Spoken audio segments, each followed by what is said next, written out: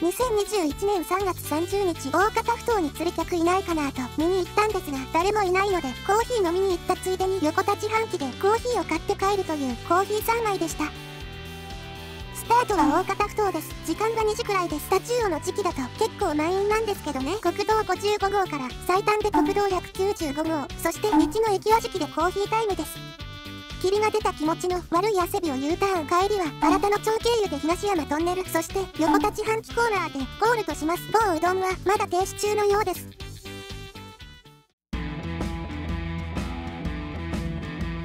夜中の2時の大方ふと4月くらいやから多分誰もおらんとは思うんやけどまあ暇やったし。